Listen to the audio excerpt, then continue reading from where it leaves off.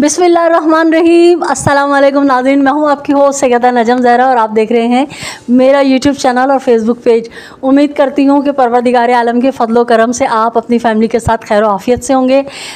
तमाम तारीफ़ें हैं रब किरदगार के लिए और तमाम तर दुरुद सलाम है मोहम्मद वाल मोहम्मद पर।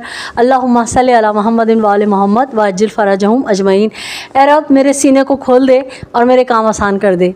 मेरी ज़बान की गिराह को खोल दे कि लोग मेरी बात समझ सकें।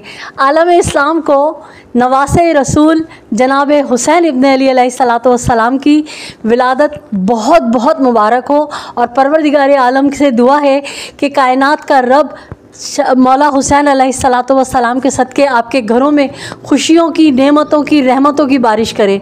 इलाही आमीन। नादरीन, मौला हुसैन सलाम का जश्न पूरे आलम इस्लाम में मनाया जाता है।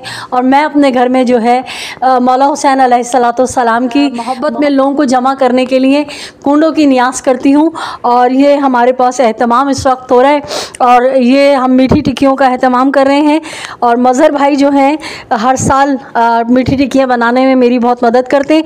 इसमें इन्होंने क्या क्या डाला है? आइए हम मज़हर भाई से पूछते हैं। अस्सलाम वालेकुम। वालेकुम अस्सलाम जी। मज़हर भाई मौला की विलादत मुबारक हो आपको। आपको भी मुबारक हो भाई। मज़हर भाई क्या कर रहे हैं? क्या चीज़ें डाली हैं? कितना लिया है? सारा बताएँ हमारे व्यूवर्स को। ये इसमें मैंने तीन किलो मैदा लगाया है एक पौ बादाम लगाया है एक पौ पिस्ता लगाया है और इसमें कस लगाई है छोटी इलायची लगाई है और एक किलो दूध लगाया है। पिसा खोपरा है? जी वो भी लगाया है। हाँ खशखश भी है? जी वो भी लगाया है। हाँ। उस एक किलो दूध भी लगाया है डेढ़ चम्मच खाने वाला सोडा भी लगाया है। अच्छा। आधा किलो घी भी लगाया है। अच्छा। अब ये अल्लाह के हुक्म से ये गूंद के फिर ये के टिकिया हम बिल बिल बिल के आपको देंगे और आप बनाएँगे। जी बिल्कुल जी। सही है। तो दूध शेयर करूँ मैं आप इसमें डालूँ? तो ये देखें जनाब मैं भी जो है शहीदों में उंगली कटा रही हूँ सारा काम जो है मज़र भाई करते हैं। लेकिन टिक्की इनको मैं ही बेल के दूँगी क्योंकि आपको पता है वर्किंग डे है और बच्चे जो है यूनिवर्सिटी कॉलेजेस और अपने अपने काम धंधों में जो है वो बिज़ी होते हैं। तो मज़र भाई और मैं मिलके और एक ये मेरा प्यारा सा शहज़ादा भांजा है मेरे साथ, जो इस वक्त मेरी वीडियो बना रहा है। तो ये मिलके हम तीनों, खाला भांजा और मज़हर भाई, हम तीनों मिलके जो है मीठी टिक्कियों का अहतमाम कर रहे हैं और कुंडों में मैं जो हूँ खट्टे आलू बनाती हूँ, खीर बनाती हूँ, आलू कीमा बनाती हूँ और छोले उबालती हूँ और लोगों को बहुत पसंद आता है। लोग बहुत शौक़ से खाते हैं और माशाल्लाह घर में एक अलग ही रौनक होती है गहमा गहमी होती है। तो अब हम मीठी टिक्कियों का सामान जो है रेडी कर रहे हैं। उसके बाद हम जो भी कुछ करेंगे, वो हम आपके साथ शेयर करेंगे। तो तब तक के लिए इजाज़त दीजिए। ये देखिए मज़र भाई इतने माहिर हो गए हैं कि इन्होंने झटपट से, जबकि कहा जाता है कि भाई मीठी टिक्कियों का आटा जो है ना, वो बहुत मुश्किल से गूंथता है। लेकिन अभी आपके सामने सामने मज़र भाई ने अच्छा हमसे थोड़ी सी मिस्टेक ये हुई कि लाइट गई हुई थी तो हमने सारा सामान डाल दिया था।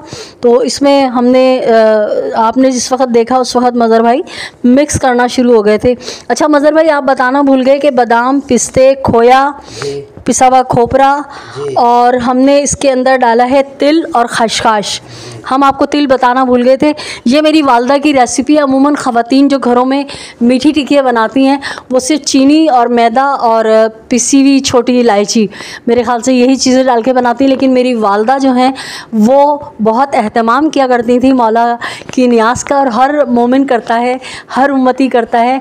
तो हमारे यहाँ ये कि टिक्कियों में ज़रा स्पेशली चीज़ें डलती हैं। शायद आपने फ़र्स्ट टाइम सुना हो कि टिक्कियों में खोया भी डल रहा है। तो हम खोया भी डालते हैं और तमाम मेवाजात डालते हैं, अखरोट डालते हैं। शायद दो तीन नाम अभी भी मैं लेना भूल गई हूँ। तो इन मज़ीद ये कि जब हम मीठी टिक्कियाँ बनाएँगे, वो भी आपको दिखाएँगे और कल दिन में मैं जो है खट्टे आलू और कीमा बनाऊँगी तो वो भी आपके साथ शेयर करूँगी।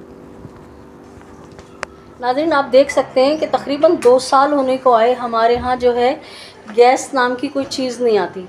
और अब हमें इमरजेंसी में सिलेंडर लेना पड़ा है और ये चूल्हा ख़रीदना पड़ा है। और अब हम जो है मीठी टिक्कियों का जो घी है वो गरम कर रहे हैं और झटपट में पहले मज़र भाई ने वो खोला है, अपना आटा गूंदा है।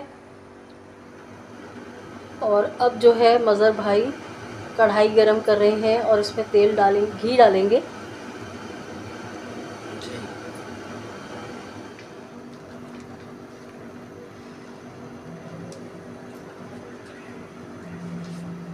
दोनों थैलियाँ एक साथ डालेंगे मज़र भाई। जी। तो ज़्यादा नहीं हो जाएगा? है ना फिर ये कि उसमें फिर पाँच पाँच छः छः करके डालनी पड़ेंगी। हाँ। ऐसा फिर ये कि पंद्रह बीस तो फ्राई होंगे ना। अच्छा एक साथ। जी फिर तो सुबह हो जाएगी।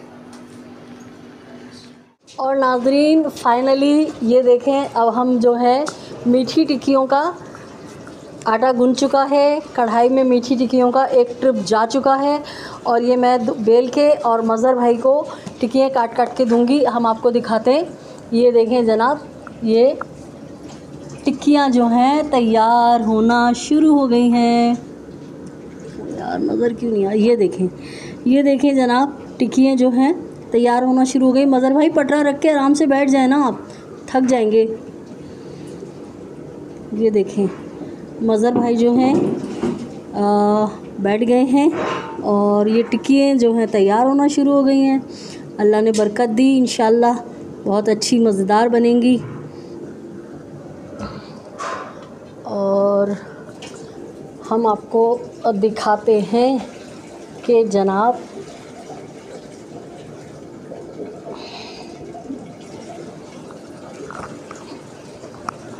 ये जनाब तार जो है, ये बीच में आ रहा है। ये देखें जी, ये हम इनको बेलना शुरू हो गए हैं, ऐसा करेंगे कि बस हम आपको थोड़ा सा दिखाएँगे अपना कि भाई हम जो है, शहीदों में उंगली कटा रहे हैं, टिक्कियाँ बेल के मज़र भाई को दे रहे हैं, ताकि मज़र भाई का काम थोड़ा सा आसान हो सके हाँ मैं जो हूँ ना, बहुत मोटी मोटी नहीं बनाती हूँ। छोटी मतलब थोड़ी ना मोटी, ना पतली। ये देखें जनाब। ये टिकियाज रेडी हो रही हैं। और हम ये मज़र भाई को देते रहेंगे और मज़र भाई ये टिक्कियाँ बनाते रहेंगे।